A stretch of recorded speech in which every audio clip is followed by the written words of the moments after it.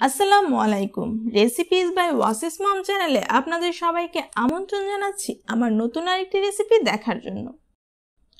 আজকে আমি আপনাদের সাথে শেয়ার করব মাত্র দশ টাকার অলিম্পিক এনার্জি প্লাস বিস্কিট দিয়ে কীভাবে স্পঞ্জ কেক তৈরি করা যায়।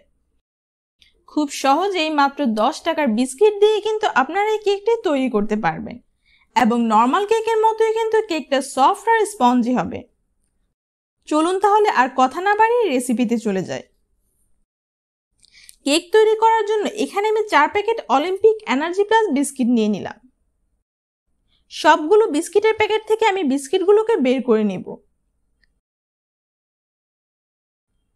এবার এই সবগুলো বিস্কিটকে আমি ভালো মতো ব্লেন্ডারে গুঁড়ো করে নিব। আমার বিস্কিটগুলো ভালো মতো গুঁড়ো করা হয়ে গিয়েছে। এবার আমি এতে অল্প অল্প করে ঠান্ডা লিকুইড দুধ অ্যাড করে কেকের জন্য ব্যাটারটা তৈরি করে নিব। তবে দুধটা কিন্তু একবারে অ্যাড করতে যাবেন না। এতে করে ব্যাটারটা কিন্তু অতিরিক্ত পাতলা হয়ে যাওয়ার সম্ভাবনা থাকবে। সম্পূর্ণ ব্যাটারটা তৈরি করতে আমার দেড় কাপ লিকুইড দুধ লেগেছে।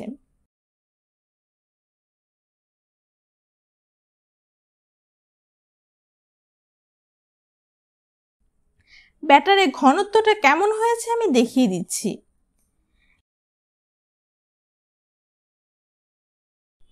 এখন এই ব্যাটারে আমি আরও অ্যাড করছি এক চা চামচ বেকিং পাউডার হাফ চা চামচ বেকিং সোডা এবং দুই টেবিল চামচ সয়াবিন তেল।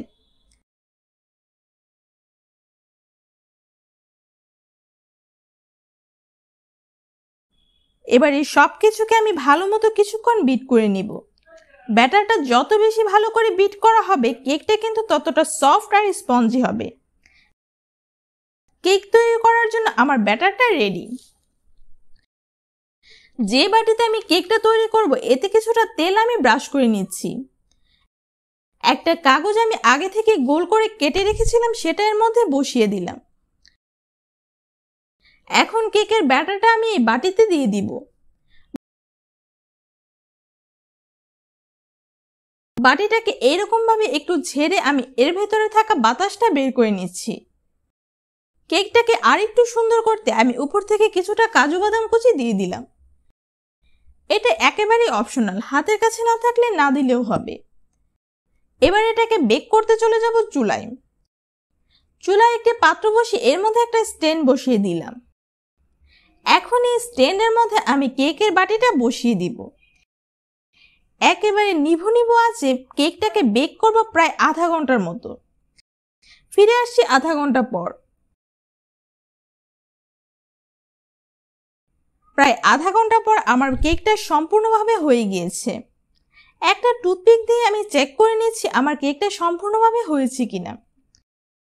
টুথপিকটা ক্লিন বের হচ্ছে, তার মানে আমার কেকটা পুরোপুরিভাবে হয়ে গিয়েছে।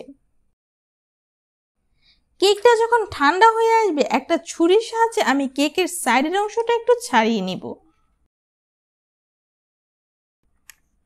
তৈরি হয়ে গিয়েছে আমার মাত্র দশ টাকার বিস্কিট দিয়ে স্পঞ্জ কেক।